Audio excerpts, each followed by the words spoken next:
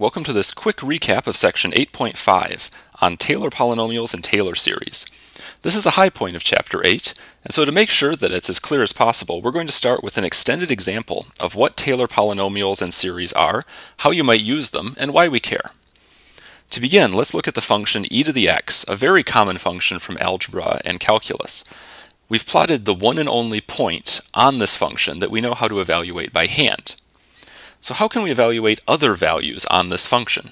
Well, in Calc 1 we learned one way to do that by using a tangent line plotted here.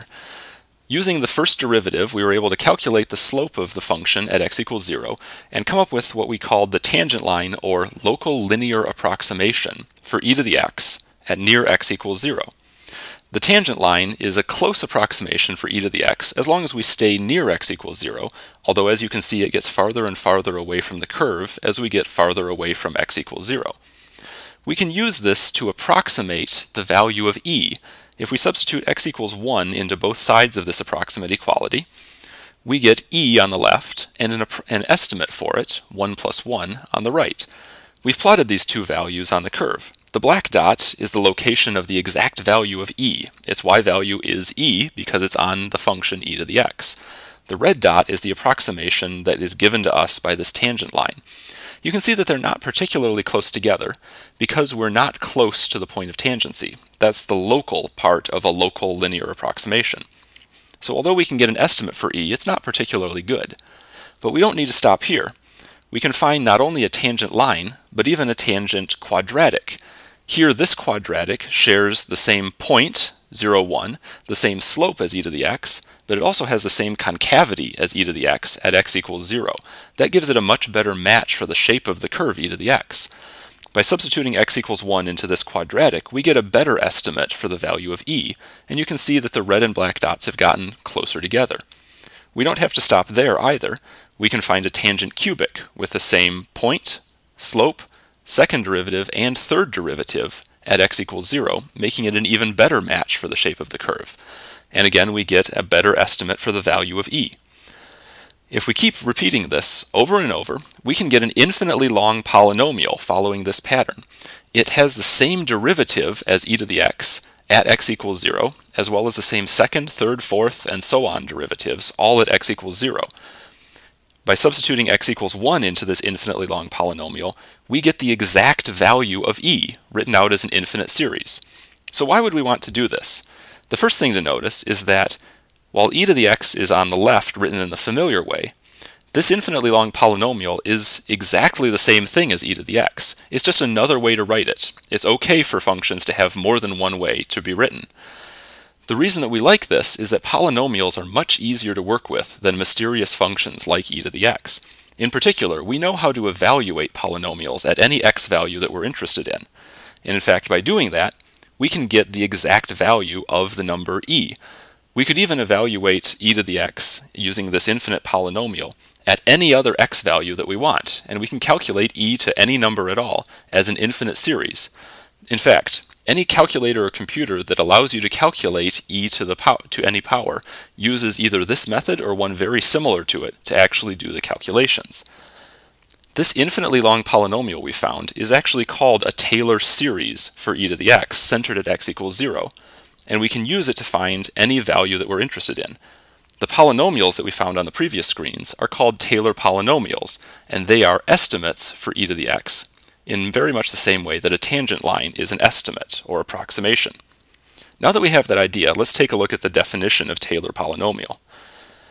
The nth order Taylor polynomial of a function f centered at x equals a is given by this formula, which can be simplified to the summation below, or rewritten in this way.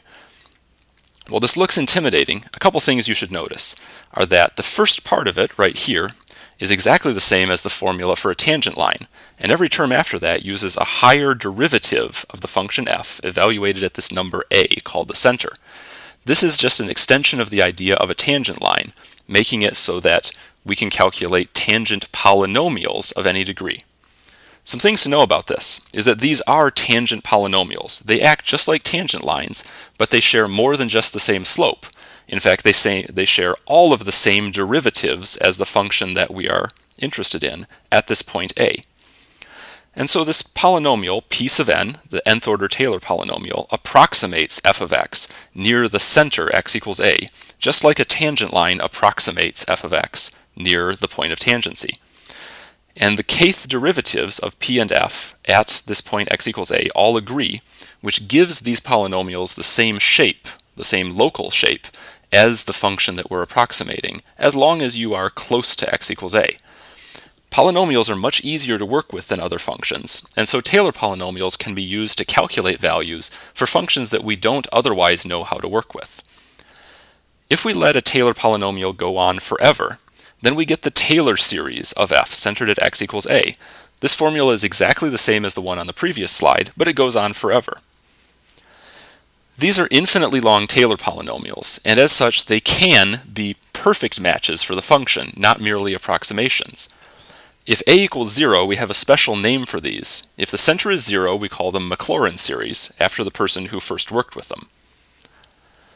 Here's another visual example to show what we mean by all of these. Here's a Taylor polynomial of order 1 for cosine of x centered at pi over 2. Notice that when we say the center is pi over 2, that turns out to be the point where the tangent line is tangent to it. A first order Taylor polynomial is a tangent line. Here's the third order, order Taylor polynomial, or a tangent cubic. Again, centered at pi over 2, it's a better match for the function. The fifth order Taylor polynomial is an even better match, as is the seventh and the ninth. If we let the order go off to infinity, we get an infinitely long Taylor polynomial called the Taylor series for cosine of x. And you can see here that it is a perfect match for cosine of x. For each x value, a Taylor series becomes a normal numerical series that converges or diverges. We saw this with the example of e to the x before. When we substituted x equals 1, we, got, we went from a polynomial to a normal numerical series. All of the x values together, where the series converges, is called an interval of convergence. This interval turns out to always be centered at x equals a, called the center of the series. This interval goes from a minus some number r to a plus some number r, and this value r is called the radius of convergence. The endpoints of this interval might be open or closed. You'll need to use convergence tests from sections 8.3 and 8.4 to decide. And the interval might even be infinite. Two examples are shown below. Visually, you can see on the left how the Taylor series does not appear to match the function at all once we get outside of the interval from negative 1 to 1, but it's a perfect match as long as we're inside that interval. Similarly, the series that we saw for cosine is shown on the right, and it's a perfect match for the ser- for cosine of x at all x values, and so we say its radius of convergence is infinite. Finally, one last idea from this section is the Lagrange error bound. This tells us how good of an approximation a Taylor polynomial of order n is. So if we want to approximate f of c for some number c, remember f is the real function that we're interested in, and if we can find this number m, which is a positive number, so that the n plus 1th derivative of our function f is always between m and negative m on the interval from a to c, that's the meaning of these absolute values, then the difference between our polynomial at c and the real function's value at c is less than or equal to this formula given on the right over here. And although this looks complicated, this allows us to calculate an estimate for how close our Taylor polynomial really is to the function. It turns out that we can use this to show that many Taylor series actually converge perfectly to the function that they, the Taylor polynomials are approximating. Now that we've seen these, let's take a look at many examples of how to calculate Taylor polynomials and series and how to work with them.